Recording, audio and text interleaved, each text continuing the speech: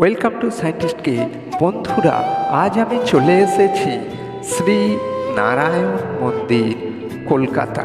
ভারত হল গুজরাতের পচাশনবাসী অক্ষর পুরুষোত্তম স্বামী নারায়ণ সংস্থার, স্বামী নারায়ণ সম্প্রদায়ের একটি হিন্দু মন্দির, শ্রী স্বামী নারায়ণ মন্দির। কলকাতার অবস্থান দক্ষিণ কলকাতা শহরতলি, আমতলার কাছে, বিষ্ণুপুর থানা ভাষা চোদ্দ নম্বরে অবস্থিত এই মন্দিরটি Diamond Harbour Road, Kharibaria, West Bengal. এক কথায়, খুব অপূর্ব এই মন্দিরটি। আমি দুইবার এসেছি এই মন্দিরে, কিন্তু তখন আমার দামি মোবাইলও ছিল না, ইউটিউব চ্যানেলও ছিল না। তাই আবার চলে এলাম এই স্বামী নারায়ণ মন্দিরে। যারা দূর থেকে আসবেন, হাওড়া হইতে বারোটি সরকারি বাসে উঠে চড়ে আসবেন ধর্মতলা থেকে এসডি আঠেরো অথবা এসডি উনিশ বাসে চড়ে তলার অন্তর্গত বিষ্ণুপুর থানা, ভাষা চোদ্দ নম্বর, ডায়মন্ড হারবার রোড খড়িবেড়িয়ায় নেমে। West Bengal. Seven four three five zero three. এই হলো এইখানকার পিনকোড নাম্বার। কি অসাধারণ শিল্পকলা ফুটিয়ে তুলেছেন শিল্পীরা। চোখে না দেখলেও বোঝাই যায় না নানা মূর্তিগুলি এত সুন্দর, এত কারুকার্য। আমি এই তিনবার এলাম। এতেও যেন স্বাদ মেটেনি, আমার মন ভরেনি। আবার আসব এই মন্দিরটি প্রথম যখন তৈরি হতে আরম্ভ করেছিল, আজ থেকে পঁচিশ বছর আগে দশ বছর তৈরি হয়ে যাবার পর মাটির ভিতর পুরো তলিয়ে যায়। তাতে কিন্তু হাল ছাড়েনি। আবার শুরু করেন প্রথম থেকে এই স্বামী নারায়ণ মন্দিরটি। প্রথমে বলি, আপনাদের এই মন্দিরে আসার সময়সূচি জেনে রাখা দরকার। কারণ নালে এসে মন্দির বন্ধ থাকবে, ফিরে যাবেন, অনেক কষ্ট পাবেন। তার জন্য সময়সূচিটা অবশ্যই জেনে নেবেন। মন্দির খোলার সময় হইল, সকাল আটটা হইতে দুপুর বারোটা পর্যন্ত।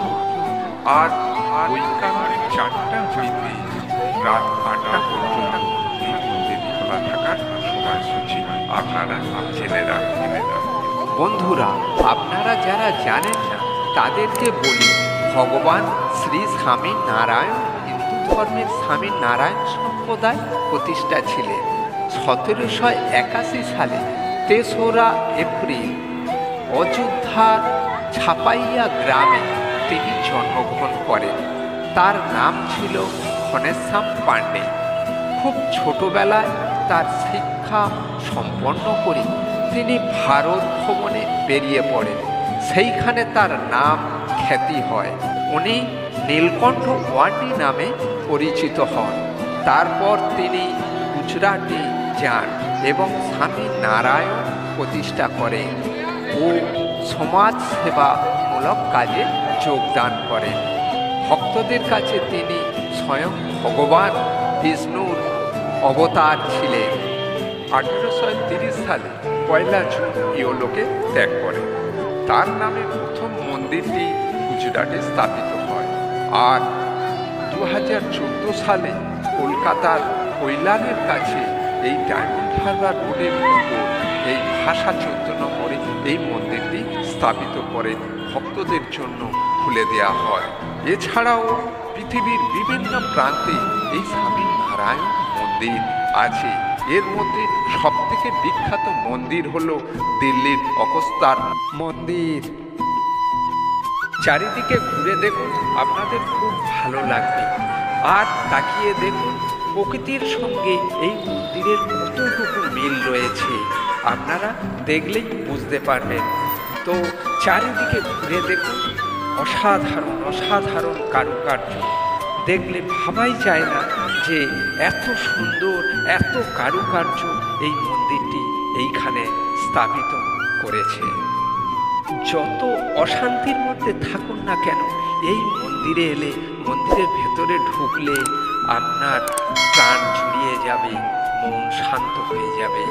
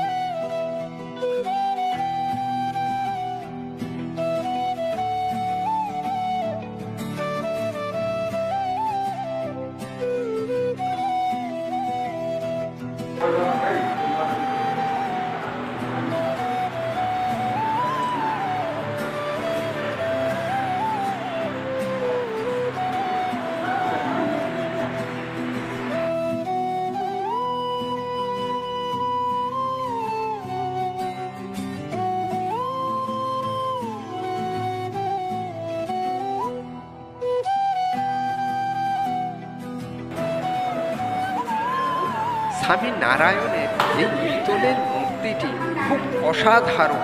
এই মূর্তির মাথায় পূজন করে জল ঢালিলে মাত্র পঞ্চাশ টাকা দেওয়া পূর্ণ করে নিতে পারেন এই পাথরটি খোদাই করে স্বামী নারায়ণ মূর্তি তৈরি করা কি অসাধারণ দুই পারে তৈরি করিয়াছেন আপনারা একটু দেখুন।